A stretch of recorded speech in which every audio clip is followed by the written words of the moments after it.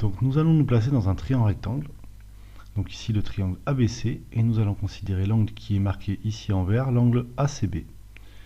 Donc dans ce triangle rectangle, le côté opposé à angle droit s'appelle l'hypoténuse, comme dans tous les triangles rectangles. Ici c'est le côté AC. En face de l'angle vert de l'angle ACB, nous trouvons son côté opposé. Et à côté de celui-ci, son côté adjacent. Maintenant considérons un autre angle, l'angle BAC. On retrouve toujours l'hypoténuse en face de l'angle droit. En face de l'angle BAC, nous avons le côté opposé à cet angle.